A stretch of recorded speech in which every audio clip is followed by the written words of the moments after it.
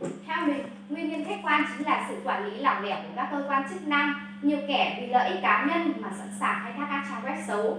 Còn về nguyên nhân chủ quan là do con người thiếu bản lĩnh, thiếu ý chí, thiếu nghị lực, do không được sự quan tâm của gia đình và xã hội dẫn đến lối sống buông thả. Còn theo mình, trẻ em bị xâm hại trên mạng là do tác động của cuộc cách mạng công nghệ. Vì thế, vấn đề này phải được giải quyết bởi công nghệ.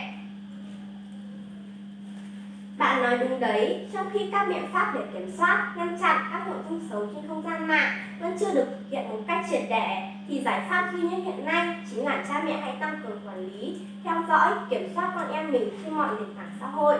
Ngoài ra, phụ huynh nên trang bị cho trẻ em những kỹ năng tương tác an toàn trên môi trường mạng, chủ động bảo vệ bản thân khỏi những nguy cơ xấu có hại.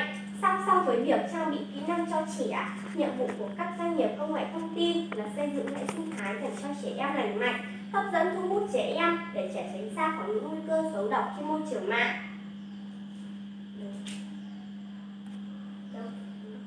Ôi giời.